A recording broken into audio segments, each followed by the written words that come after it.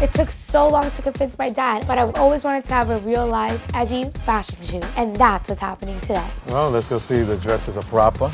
But dad, you said I can do this. I hope my dad doesn't get too strict, but if he does, I have my sisters, AKA Glam Squad. So which dress is it? All of them. All of them. Since I got the pink dress to please my mother, I at least wanted to wear my other dress for my photo shoot.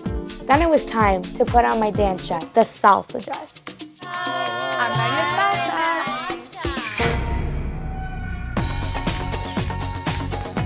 And then it was time for the surprise dress. Get comfortable. Oh my God. Papá te va a matar. We hurried up and took as many pictures as we possibly could before my dad gets too strict. I really don't want him to change his mind. That's it, it's a wrap. We have to take this off Okay, now we go attack.